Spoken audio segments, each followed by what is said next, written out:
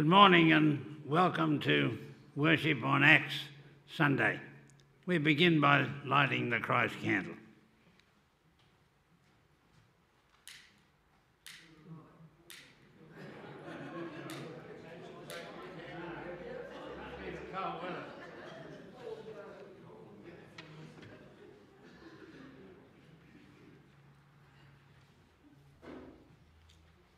This morning I'm uh, both Elder One and Master of Ceremonies of the Acts performance, and uh, and uh, I almost forgot I had to light the Christ candle before we could start. Getting getting old, I think. Uh, but but No word. what we do at this time every year is talk about the work of Acts and give thanks for the work that Acts has been able to do out in the community. And this morning, a number of the board of directors of Acts, we're a registered charity now. uh, Just like any charity in the community, we're totally responsible to this church, but we have, like all charities, a board of directors. Now, all of those who are in town are taking place in the service here uh, uh, this morning. And, and uh, we have Bernie, who's our treasurer, who's going to give a report on what Acts has been doing. And then Shirley will give us a message. Shirley Kubash will give us a message and do the readings. And then there's two short comments by Wally Ray and, and uh, Andrew Norton, who are both, uh, Wally's the secretary, and uh, they're both going to talk about how they came and were called to serve with Acts. And I'll give a report on a message about Acts and a report on the future. A- And, uh, then Jose, another director, uh, sitting up and hiding away in the far corner over there, will lead us in the prayer, in the prayer for, for others. But this morning we we, we just give thanks for the privilege of serving the community in the way that this congregation tries to do with Acts. So let's open with a very brief prayer.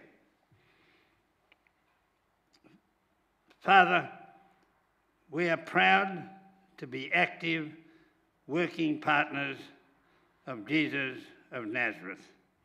Thank you for the privilege of walking with him to create a better world. Amen. Let's begin by singing the hymn TIS 217, AHB 148, Love Divine All Loves Excelling, and we're going to sing three verses.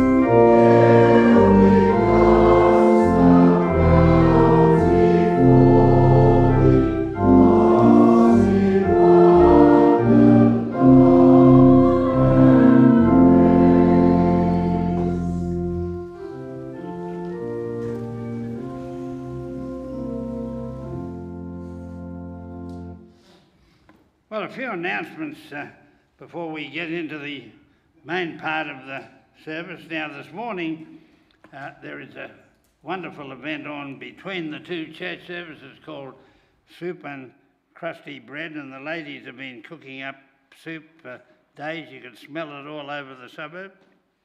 And you can, if you haven't already bought a ticket, you can still buy one. They've got a few spare cups of soup left. It'll cost you $10. That's the best soup in town. And so if you haven't paid up, see one, just go to the door and pay up and you'll be, and you'll be, uh, you'll be welcome. Uh, now, I have no special announcements to make other than that it's uh, uh, Acts Sunday and you'll, you'll have read your notice sheets and you'll know what's going on and Sandra will be back again with us, uh, with us next Sunday. Now, so we'll get on to, uh, to celebrations, and uh, I've some people have had birthdays, and I know some of them are shy, so I'll tell you who they are. Coral Ryan is one of them. Where's Coral? Hey? Wednesday it was. Next Wednesday. Next Wednesday. And have you bought her a decent present? no, not sure. Well, splash, it splash out a bit this year, mate. Pam Peterson, over there. You're having a big party sometime, aren't you? I hope young Greg has given you something decent. If he doesn't, call me. And Elaine Hawthorne, I think Elaine will be here in the next church service. Who else has got a birthday? No one else got a, got a birthday. Who's got married this week? No marriages this week? Well, there's some a few concerns we should uh, we should mention. Uh, our mate Barry Maxim is uh, is not well. He's uh, his health is in rapid decline over the last couple of weeks, and Mano contacted us yesterday to say that he went to see him, and poor old Barry could not uh, could not speak. And I think that Barry is uh, the stage in life where he wants to be with Margaret, and we hope that that happens as peacefully as possible. And Jane and Phil are here this morning, and you've been doing a wonderful job looking after him, and we're with you as this important part and precious part of your life. Now, also, Lynette Zimmer, uh, prayers for Lynette's 16 year old grandson, uh, Ethan, who was knocked off his bicycle in Caboolture Road last Thursday afternoon when he was riding to work. He's in the Caboolture Hospital, uh, but he's, uh, he's, he's okay.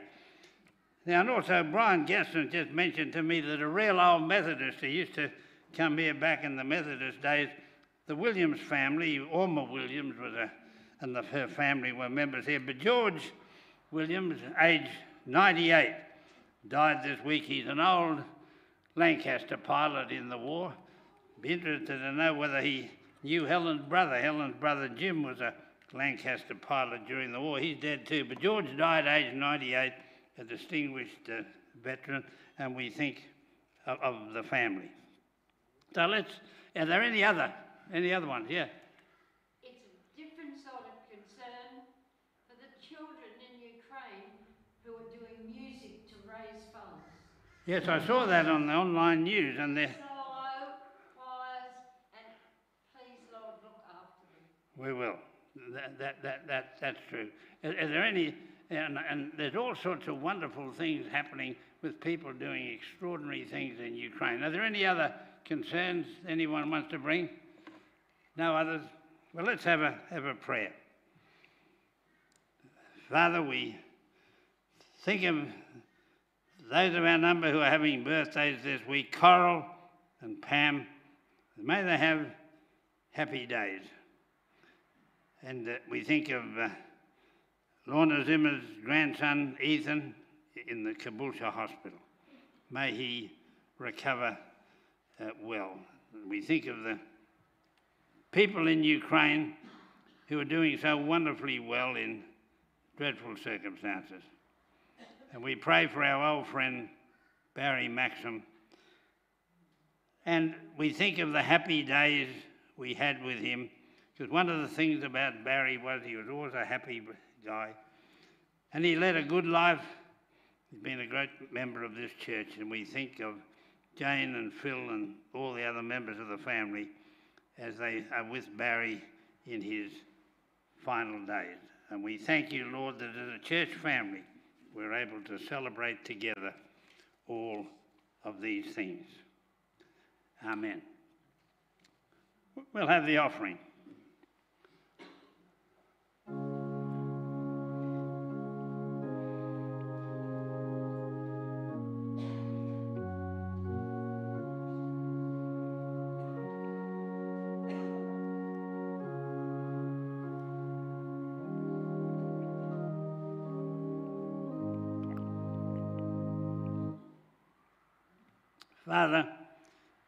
Privileges of being a Christian is that we're able to give and to serve.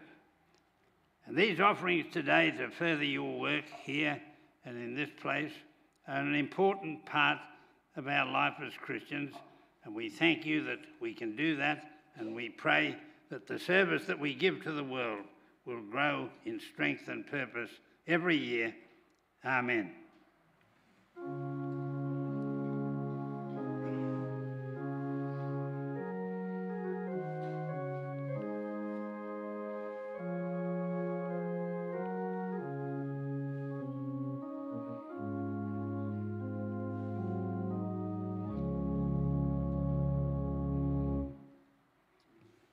The Acts team goes to work. Bernie Meyer, who is the treasurer of Acts and looks after our funds very well, is going to give us a report on where Acts has been giving its money. You sure you're not cold, Bernie?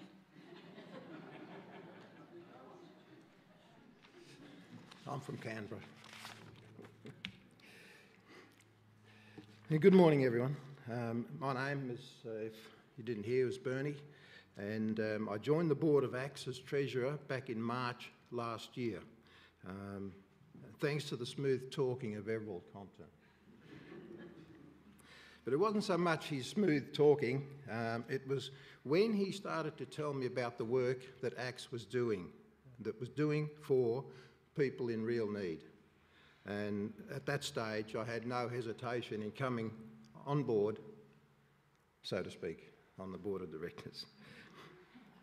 Uh, so that work, however, has primarily due to your generosity, the generosity of the congregations at Aspley Uniting Church. So over the 15 months as Treasurer, ACTS has distributed nearly $102,000 to many people in need. Of this amount, $43,000 was provided to victims of fire, drought, and recent floods. And some of those whom have lost everything for the second and third time. $13,000 went to victims of domestic and family violence, elder abuse, and homelessness. $26,000 went to the provision of meals for the homeless. $5,000 went to school breakfast programs to ensure that children do not start the day on an empty stomach or low nutrient or insufficient food. Under that breakfast program, the children also learn manners and social skills as they form friendships with peers and relationships with adult mentors. Now, ACTS has also provided $11,000 of assistance to refugee families from Sri Lanka, Afghanistan, and more recently, the Ukraine. These and other forms of assistance provided by ACTS have been made possible to those families in need through your generosity. so today, is Act Sunday. And again, we ask you to show your generosity, that generosity that you've shown in the past. Your donations and fundraising activities will help us to continue providing this assistance to people in need. I think most of you know that uh, donations can be made, excuse me, through bank transfer. Um, and the details of that bank transfer are on the ACTS envelopes that you would have received as you came into the church. Or you may wish to just use the ACTS envelopes that have been distributed. Um, you may wish to complete them today if you like, or you may wish to bring them back when you're next in church. So, just to finish, um, I'd, I'd, I'd just like to read a passage from the book of Deuteronomy. I'll read from chapter 15, verses 7 to 11. If there is among you anyone in need, excuse me, a member of your community in any of your towns within the land that the Lord your God is giving you, do not be hard hearted or tight fisted towards your needy neighbour. You should rather open your hand, willingly lending enough to meet the need, whatever it may be. Be careful that you do not entertain a mean thought thinking the seventh year, the year of remission, is near, and therefore view the needy neighbour with hostility and give nothing. Your neighbour might cry to the Lord against you, and you would incur guilt. Give liberally and be ungrudging when you do so, for in all your work and in all that you undertake, um, eh, sorry, uh, liberally and ungrudging when you do so. For on this account, the Lord your God will bless you in all your work and in all that you undertake. Since there will never cease to be some in need on the earth, I therefore say to you, open your hand to the poor and the needy neighbour in your land. This is the word of the Lord. Seeing Bernie's in shorts and a summer shirt, I can't have him well on his own. Just got to Helen remind me to take that coat home sometime. Shirley is going to make us, give us a message and do the reading. Good morning. I'm Shirley Cooper bringing you the readings this morning. But before we, before I do that, I'm going to tell you um, about a uh, homelessness experience that I had in, in life. um, before, um, sorry, and how the charity of a good man of faith in a desperate situation was never forgotten. My husband and I, new husband and I, came to Australia in 1965. We got a job at Mount Buffalo, um, live-in job, and um, unfortunately, when he got sacked, don't ask, um, we, we decided to drive north to Queensland looking for work, similar work, live in work in the hospitality industry. But there was a, a great drought going on at the time, and we just couldn't find anything. Um, so when we got to uh, to Brisbane, we decided to go out west and make our way back to Sydney down through the Inland Road. Still couldn't find work, so by the time we got to Armidale, we were pretty desperate. We're living in our ute. We hadn't eaten a meal for two days, living on a packet of biscuits. And um, it was getting, and all, the only money that we had was uh, pet, enough petrol money to get us to Sydney to stay with relatives. So um, I decided that we should go to the police station and get arrested for vagrancy, which apparently it was a thing. Um, well, of course, they just laughed. But they sent us to um, the senior Salvation Army officer in the town who gave us enough money for a night stay at the hotel and a meal.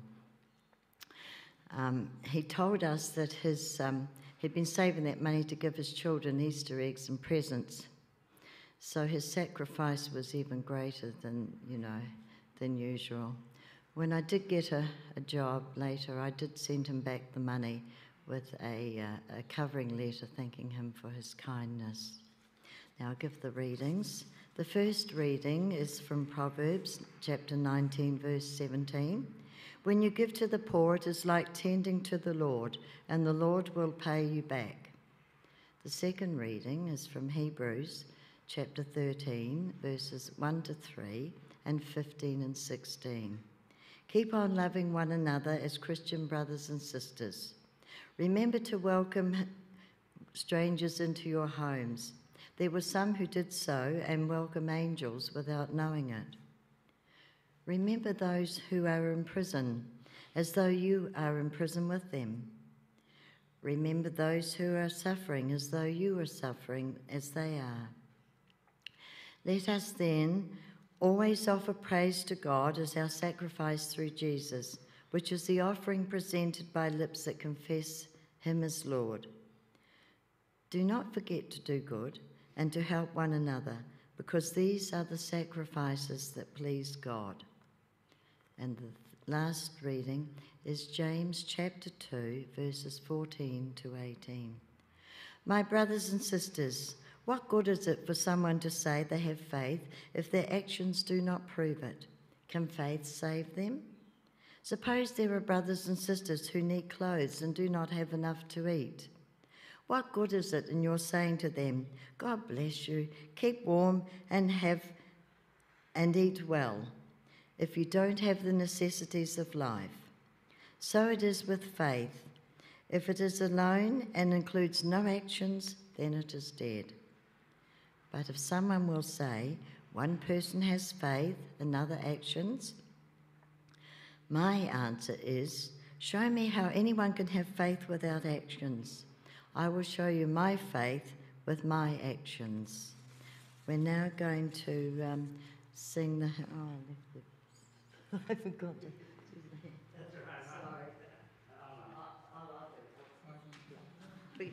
Sorry, left my uh, order behind. Um, we're now going to sing hymn uh, TIS 595 or the Australian hymn book 51 514, Oh Jesus, I have promised, and we're singing four verses.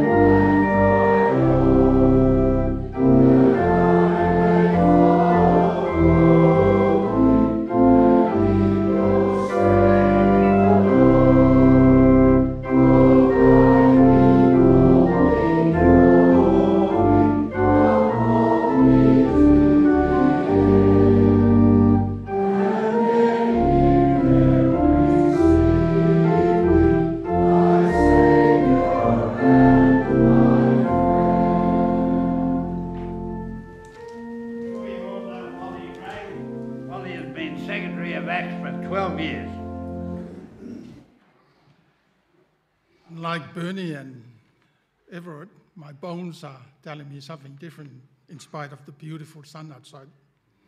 So on this good morning, on this our Act Sunday annual service, also marks the 15th year since Acts was uh, created by from our 1015 service. Alan and I have been tasked, Andrew, sorry, Andrew and I have been tasked to share a few thoughts on the topic of why I answer a call for Christian service via Acts.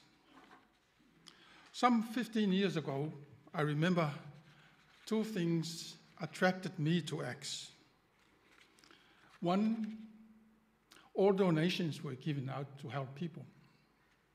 The only item charged against those funds was for the annual audit of the, of the books as required by law.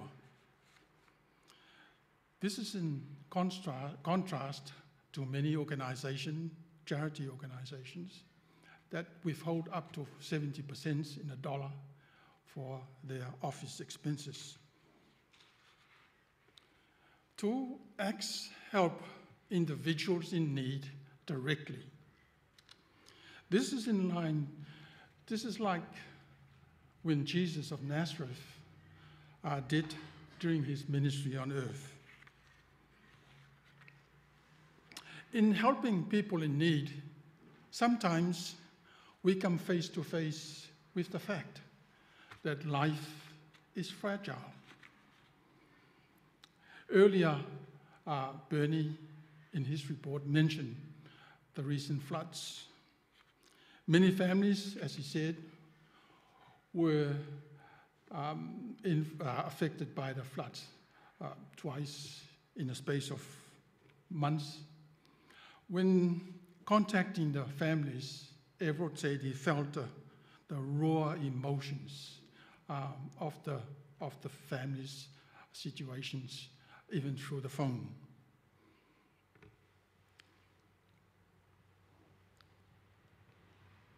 God commands us to love others. One of the most simple ways to love in helping um, is by helping when someone is in need. Bernie mentioned, mentioned that um, we Acts gave away just over 100,000 over a period of over the last 15 months to help people in need and a simple demonstration of our concern and love for others. People we help wrote back expressing gratitude and appreciation. As well, they ask, where on earth is the Aspley Uniting Church? And what is Acts?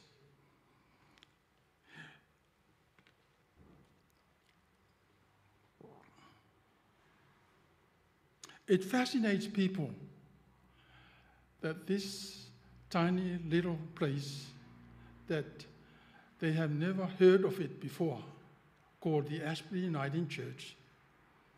And a small group of, of people they don't even know are prepared to walk with them in their hour of need.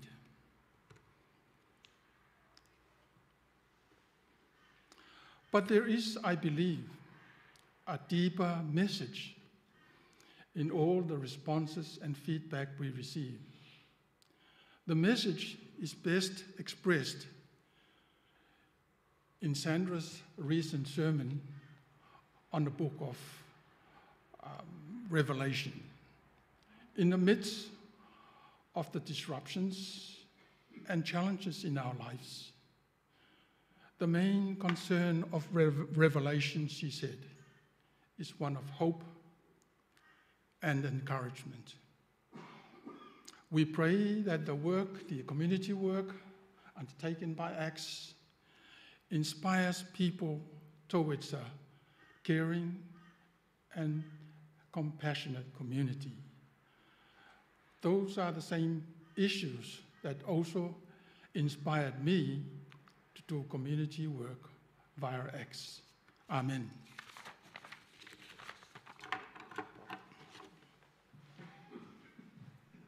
Andrew Norton uh, is next, and uh, Andrew has just flown back from his old homeland of Scotland, where I think it might be slightly colder than here. Yes, uh, just back from uh, the United Kingdom uh, a couple of weeks ago. Um, I'm Andrew from the, uh, the 1015 service, and uh, I've been involved with the Acts Committee for around about three years now. And um, this morning I'd like to convey with, with you some, uh, some reflections in terms of what the call to service for Acts has meant to me and what it could mean for you as well. So, Aspley Caring Through Service apart from being a nifty acronym for me or for anybody else, ACTS is all in the name. What does it mean to you? When I first heard about Acts, my mind immediately turn to the fifth book of the New Testament, the Acts of the Apostles. In my mind, you can see that the first four Gospels are kind of the theory, and the Acts is where the rubber hits the road, where the practice begins, and this continues through throughout Paul's letters as we heard earlier in Shirley's readings from, from Hebrews and um, also in the book of James. So, what these scriptures tell us is the paramount importance of works in tandem with faith. If we first have a look at Hebrews, it mentions service well pleasing to God and the words of letting mutual love continue. Do not neglect to show hospitality to strangers, as some have entertained angels without knowing it. Continuing on to verses 15 and 16, it acts, asks, it asks, asks us to continue to offer a sacrifice of praise to God. Fruit of our lips confess his name. Do not neglect to do good and share what you have. Such sacrifices are pleasing to God. As we come into the, the final readings from, um, from James, this is about the concept of um, faith by itself without works is dead. If faith has no works, how can faith save you?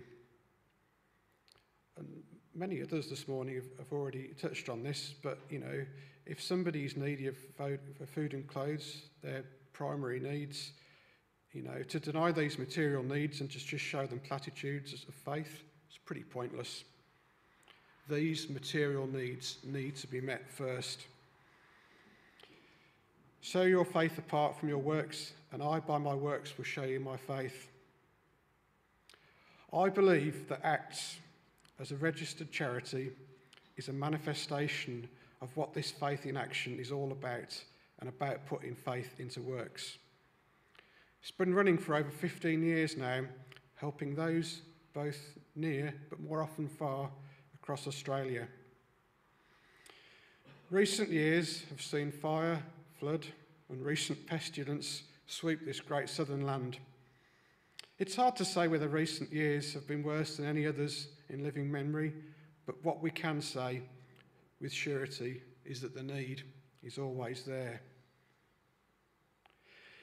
In terms of uh, my involvement with ACTS, I've had a particularly, particular heart for those in need in Victoria. And I'm very proud that we've been able to match the donations broadly from the congregation here in, in Aspley to several food truck and food bank initiatives in the outer suburbs of Melbourne, notably in Frankston and Cranbourne. It's heartening to hear the positive and grateful feedback we receive, knowing that our ACTS donations have made a real difference to strangers, people we don't know, um, but we do know that our acts of kindness have been visible. And you could say that that is an example of mutual love without strings, strings attached. Our work here is both biblically correct and it's the right thing to do for humanity. Both the committee, church, and for those involved, we're very, very grateful for the work that uh, we've been able to undertake, and thank you for your continued support. And I'd really like to hope this, that this endeavour can continue for many years to, to come. Thanks be to God.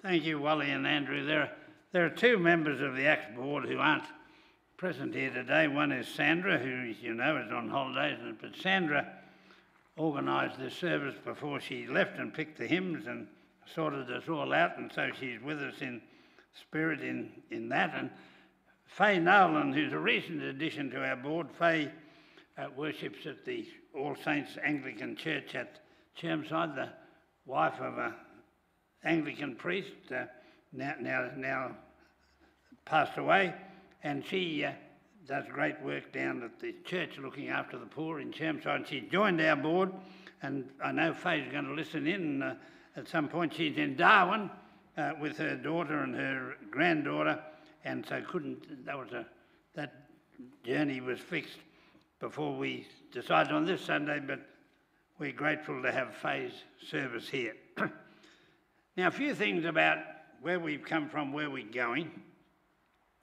When Acts was formed 15 years ago, it was several people from the 1015 service who got it together. Those people have moved on to live in other places and aren't with us now. And so Wally and I, and when they left, Wally and myself and Reg Miles were the three that were appointed to take their place. And then the board expanded uh, from that, and Mano was on the board as, as well. And it grew from a vision of the a few people in the 1015 congregation who believed that we needed to be a serving church and that we needed to have a focus, just like John Wesley said, of, of helping people beyond the church. And so that's where we started from, and that's where we're still heading. but to do these things, people have to have an inspiration as to, as to why you get involved. And uh, uh, Wally and Andrew and Shirley have just, and, and, and uh, uh, Bernie have told you why they're involved. My inspiration uh, comes from many people like John Wesley, but many great servants of the church and great servants of, of Jesus of Nazareth. And one who particularly inspires me to be involved is St. Francis of Assisi. And in recent times, I've been reading some books about Francis of Assisi. If you actually type into Google the words St. Francis of Assisi, there's about 100 books written about him.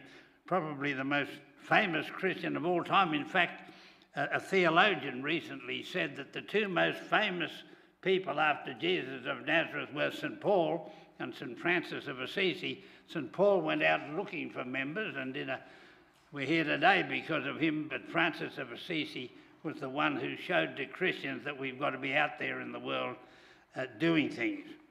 And so I've read a couple of books about him and read what Google says about him. Now, Google's not always correct, but the overwhelming evidence is that here was a very great man from whom we can learn some things. He was uh, born a thousand years ago into a wealthy family in Assisi. And he lived a very privileged life, and as a young man, he played it up around town, and he was one of the, the key players in the social life of the town. Now, to cut a long story short, uh, he experienced two things in his life. One, he was confronted one day by a very poor man who begged for alms for his family, and he arrogantly pushed him away, thinking he's nothing. And then when he, when he was going home, he thought that was wrong. And he followed the man and found him and gave him money that he needed. And that had a profound effect on him. Why am I living in this splendour and these people are not? And then another day, he had an encounter with leprosy. Back in those days, leprosy was a, the scourge of the earth, and most people feared leprosy. There was no cure. And one day, a leper came and appealed to him for money. And again, he rejected him, and the same thing happened. But not only did he follow him and give him money, he wrapped his arms around him and hugged him, and that's not something you usually do with a leper, or you ought to do. And those two things made him believe that he had to change his life totally. Now, there's all sorts of events happened along the way that I haven't got time to tell you. But he finally left his home, revoked in, in his father's will all entitlement to every bit of money that he had. And he walked out, left all his clothes behind except one of the poorest set of clothes he had, and set out to live with the poor and the lepers. And he did that for the rest uh, of his life, and he would not even receive any help from his family. Now, the story of how he did that is tremendous, but he lived all his life eating and sleeping with the poor, and, and, not only people with leprosy, uh, you know, uh, people who were, who, who were ill. And along the way, and he said to people, it's good that you give alms to those who are in need, but you don't really understand poverty until you live with poor people. You don't really understand leprosy and illness unless you sleep with those people and share your life with them. You don't really understand. You're dancing around the fire when you do that. Now, I don't think any of us are going to go to that extreme, but what he said was that in his life, that's what he wanted to do. And so he formed an order of monks. He had to be poor to get into it. And they're the Franciscan monks. And there are now, the Order of St. Francis is now all over the world, still survives 1,000 years later, based on the example of this incredible man. And they still do the same work as he did all that time later. Now, we're not getting anywhere near what St. Francis did. I don't think any other human being has done what St. Francis uh, has done. But we're headed in that direction of doing things that hurt us in order to, to, serve, to serve people. So, in looking at what St. Francis did and what Acts is doing uh, now, we've got to say to ourselves that Acts is only doing part of the job in looking after people. When you give money to people in need, that satisfies a crisis at that moment. But we all know that the trauma that brought about that crisis is still in their hearts and minds. The, the thousand dollars we give to flood victims, that's, they're terribly grateful for that, but they still have to live with the agony of the whole thing they're going through. And because we help people in remote places, we aren't able to provide them with the ongoing friendship that's there. And we're looking at how we might do that in times ahead through telephone calls and Zoom meetings and help from people like you who might say, Well, I'm happy to keep an eye on this family here and that family there. We're only doing half the job if we just give money. We've got to go beyond that and to do it all. And to show what it means to me, there was one of the victims we helped in the floods, a young woman who was autistic, and she had a partner who was not very skilled and unemployed, and she only had partial employment. They got themselves their first little house, and it got flooded out, and they weren't insured. And uh, Milton Dick, the federal member for Oxley, phoned me up. He you know, knew about and phoned me up and said, These people, he said, I've tried to get them government money, there's all sorts of problems. Can Acts help? And I phoned them up. And he was enormously grateful for the $1,000. We got a bank account. And she had my phone number because in her phone, because I phoned her. A couple of days later, she phoned back and she said to me, Will you be upset if I give half of this money to my neighbour? She said, My neighbour, I've just found out, is in worse trouble than me, and I think it's wrong for me to take this thousand and not share it with my neighbour. Do you mind?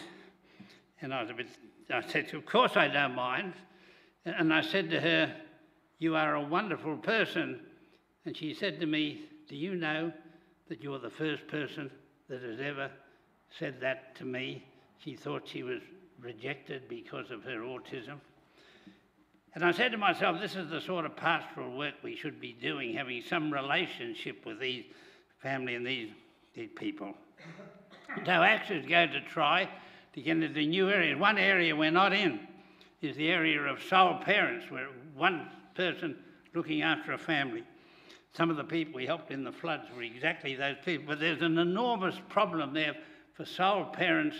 The biggest problem they've got is in all the struggle to bring up their family, they've got no one to talk to. And we're hoping we might be able to form a relationship with sole families, not only give them financial help, but be able to keep in contact with them from this congregation. Now, there's a myriad of things we can do out there if we've got enough money, but money doesn't solve everything, and so we can expand our work in all sorts uh, of ways. Now, I, when you look at, let's look again at St. Francis of, of Assisi. He died aged 44. Now, that was considered old in those days. A thousand years ago, most people didn't get past 50. But he died simply because his old body was worn out through all those years of privation, and he died. When he died, as he was dying, his friends around him saw that he had marks on his hands and on his feet, and in his side, marks. And they looked in wonder that these were the exact places where Jesus of Nazareth had marks in his body. And they believed to that day that because of that intensity of his love of Jesus of Nazareth, he grew so like Jesus of Nazareth that the scars appeared. Now, most people today say, well, that's rubbish. That could not have possibly happened. And who are us to give judgment to what it is? But the legend comes down that that's what happened, and the people who were with him swore that he had those marks. And psychiatrist, psychiatrist wrote once that if you love a person enough, you get to be like that person in all sorts of ways. And if your love is intense enough, the likeness grows. And it could well be, not for me to judge, that this man grew to be like Jesus of Nazareth. And so we can say to ourselves today, as we commit ourselves to another year of, of work with Acts, can our love of Jesus of Nazareth, can our love of the human race cause us to be so passionate that it becomes an indelible part of our life in all that we do? And so I commend to you not the work of Acts, but for the thousands of people out there we should be helping. And if anybody in need needs to think of where to go in need, it should be a church. It was remarkable when Shirley was in Armadale that the police sent her to the Salvation Army, the first thought that came. And people should think of us as a place where that happens. And so we continue to march down the road in the footsteps of Francis of Assisi. Amen. Now, we're going to sing a hymn that's based on some words of St. Francis. He didn't write the hymn, somebody wrote it. It's made some, on some verses that he wrote. Make me a channel of your peace.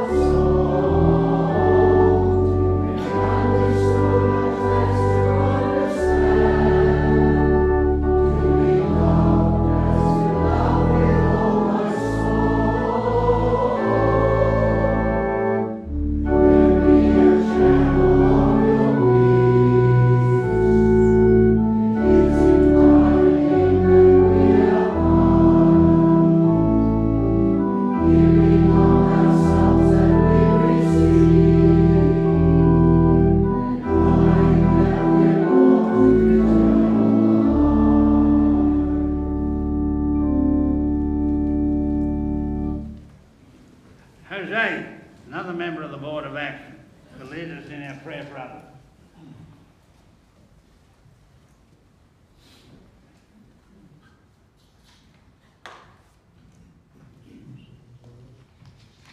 Thank you, everyone. Um, morning, all. My name's Jose. I'm also from the 1015 service. and this morning I'll be bringing you the prayer for others, followed by the Lord's Prayer.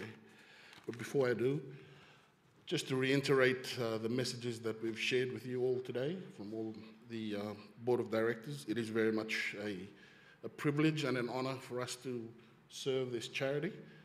But more importantly, we do thank you for your, your contributions that make this possible for us. Um, and we continue to seek your assistance in, in the year moving forward that we may continue to do the work that we do. Let us pray. Loving and compassionate God, who is ever present, we are grounded in your love. We remember the words of Jesus to love the, your neighbor. We pause to bring our concerns and prayers for others before you, not as a fix it list for you to remedy, but to remind ourselves that we have the responsibility to care for each other as well as ourselves. We think especially of the needs of families, families in all their forms, the tensions, stresses, and things that might be challenging for households at this time, as well as the the things that enrich and strengthen them and the joys of family life. We think of families where there may be anxiety about children returning to school or going to school for the first time, facing new fears and challenges. We think of the stresses that this virus pandemic has placed on families health worries, financial stress, loved ones lost, livelihoods lost or badly damaged, people working from home, children doing homeschooling. We think of families where there's tension and stress, communication breakdown, and family violence. For those experiencing mental health issues, social isolation, and homelessness. For all people everywhere who are facing or trying to recover from catastrophic environmental change. We also think of the, the factors that protect families and make us stronger and more resilient. Good friends, companions, people to share our lives with, to share our concerns with, people who provide needed support, people who love us, and people who help foster a strong sense of community and identity and hope for the future. We pray especially for our public health team and those that care for everyone in our community. We remind ourselves that we live together in community. We remind ourselves of our call to mission and responsibility to continue to work for social justice. We pray for the strength to continue on and to play our part in discerning the future of our mission at Aspley. We pray for its sustainability and the legacy we will pass to those who will follow. We ask all these in the name of the Son, Jesus Christ, our Lord and Savior, who taught us to pray and say, Our Father in heaven, hallowed be your name. Your kingdom come your will be done on earth as in heaven. Give us today our daily bread. Forgive us our sins as we forgive those who sinned against us. Save us from the time of trial and deliver us from evil. For the kingdom, the power, and the glory are yours, now and forever. Amen.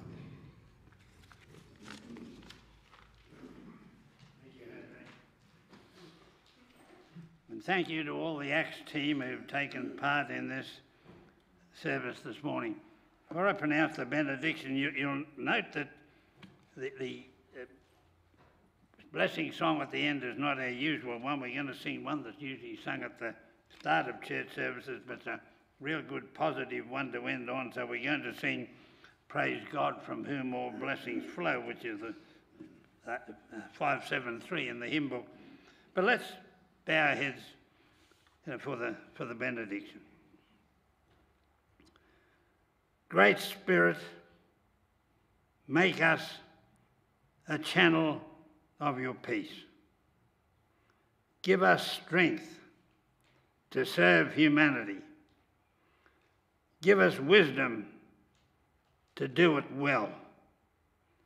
May grace and peace be with us all. Amen.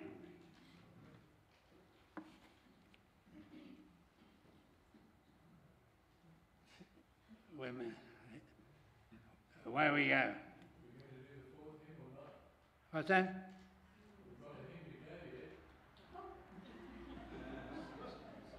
I've jumped ahead of him.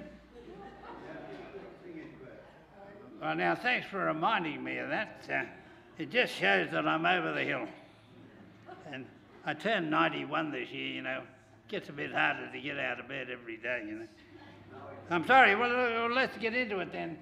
That's right, I gave, I gave Jose a lecture saying,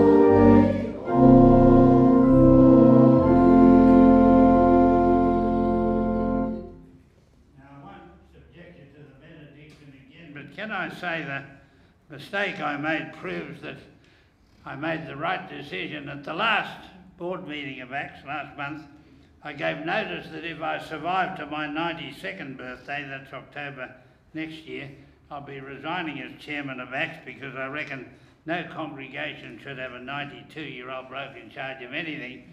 And after 12 years, I reckon it's time I walk the plank anyway. So this morning's faux pas makes me realise I made the right decision. And the other thing is, I know that the graveyards of the world are full of indispensable people. Just remember that. so, God bless you all, and let's sing Praise God from whom all blessings flow.